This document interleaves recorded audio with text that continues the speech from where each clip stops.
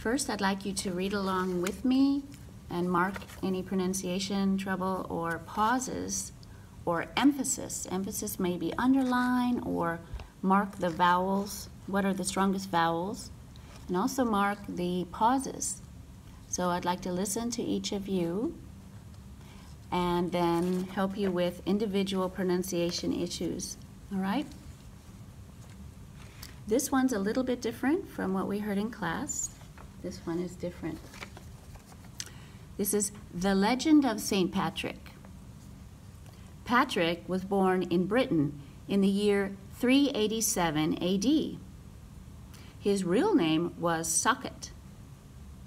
When he was 16, he was captured and sold to a chieftain living in Ireland. He spent his time alone as a shepherd. After six years, he escaped and found a ship ready to set sail. That is how he managed to return to his family and home. Although Patrick was born a British, he considered himself an Irish because it was in Ireland that he had discovered God. He became a priest in France and returned to Ireland. He spent the next 28 years traveling across the countryside to spread the word of God. He managed to convert the entire population of the island. St. Patrick died in Ireland on March 17, 461 AD, at the age of 76.